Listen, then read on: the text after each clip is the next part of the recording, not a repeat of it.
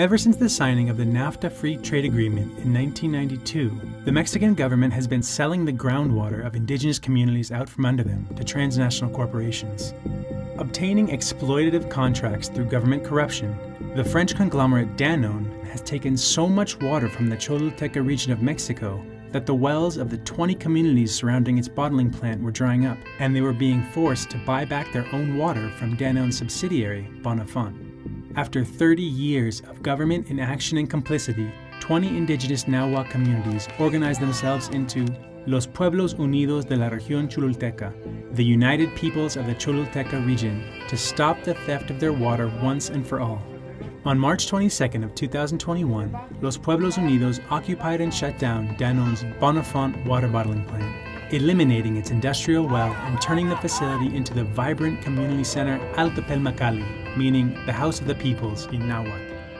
They set up a free community health clinic, a library, youth tutoring and chess programs, dance classes, medicinal plant gardens, sustainable agriculture programs, a women's organizing space, and a community television studio, hosting scores of conferences and workshops attended by communities from all over Mexico and the world. Water returned to the community's springs and artisanal wells, and Altepelmecalli became a symbol of indigenous autonomy and an example of the people's power to defend water and life. But the insatiable greed of Danone and the politicians that serve its interest respect neither the good of the communities nor the rights of indigenous peoples. At 1:20 a.m. on February 15th of 2022, 11 months after the community stepped in to close Danone's factory, Hundreds of heavily armed Mexican National Guard and state police raided Altepelmecalli, expelling the water defenders and installing Danone's private security forces in the facility.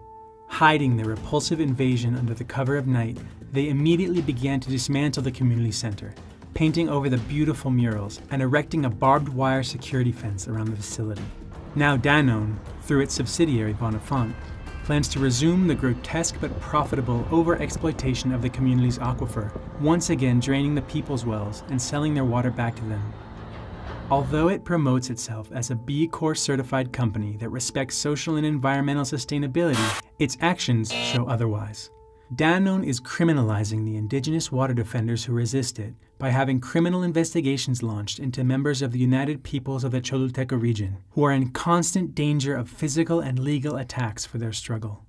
The communities are demanding that Danone and Bonafont leave Mexico, an end to the criminalization of the water defenders, and that Altepelmecalli, the House of the Peoples, be nationalized and returned to the communities. They are calling for an international boycott of Danone, protests at Mexican embassies around the world, the public shaming of Danone, and statements of solidarity by organizations and individuals who support the rights of indigenous water defenders. Water is life, and it belongs to the people. Boycott Danone.